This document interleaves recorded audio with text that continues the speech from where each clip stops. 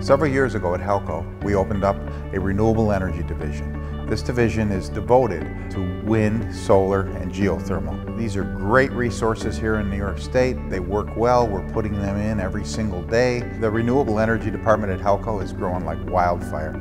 Uh, we're the leaders in central New York today. We actually even have people at net zero status where they have no energy bill at all by combining some of these renewable energies.